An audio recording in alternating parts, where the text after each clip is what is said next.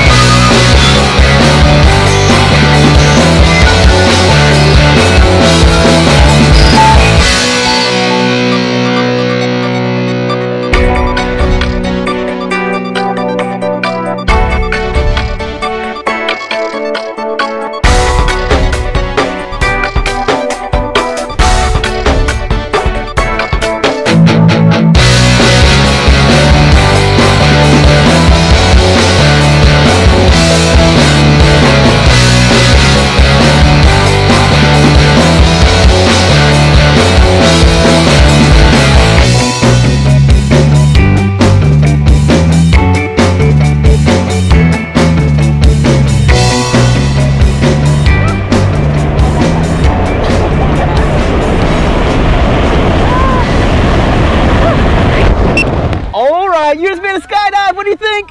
It was awesome. Yeah. What was your favorite part? When we kind of turned and swooshed. Awesome. Glide. Give me a big high five. Big thumbs up.